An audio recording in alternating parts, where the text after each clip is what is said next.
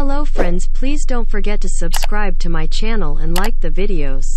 Thank you for your support. The pre-production version of the six-figure Cadillac shows just how close the Celestiq production car will be to the concept version, even if it's in camo. The idea that a concept vehicle is a wild interpretation of a production car is really starting to fade, especially thanks to the proliferation of electric vehicles. Cars like the Cadillac Celestiq look closer to their concepts than ever before. Cadillac revealed that they have begun road testing a pre-production version of Cadillac's very expensive, very boutique EV out in the wild and near the General Motors Technical Center in Warren, Michigan while it's covered in camouflage and wheel covers.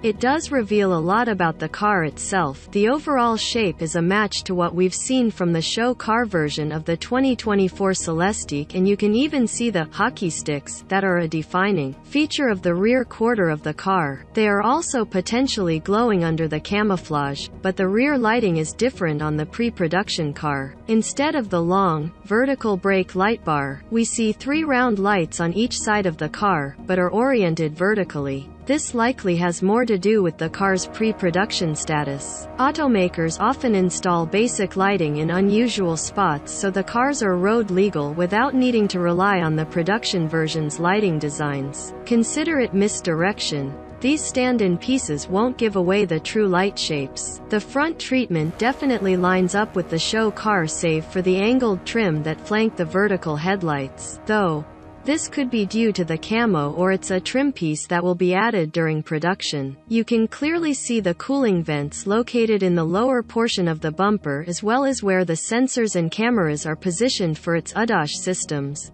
It's really fun to see the station wagon like Celestiq hatchback come to life as we're currently being downed by SUVs and crossovers in the EV market right now. While it's a high-end production vehicle, hopefully this will bring about a trend of cool-looking super hatchbacks for the market, a rarity at the Celestiq's targeted $300,000 ultra-luxury vehicle market.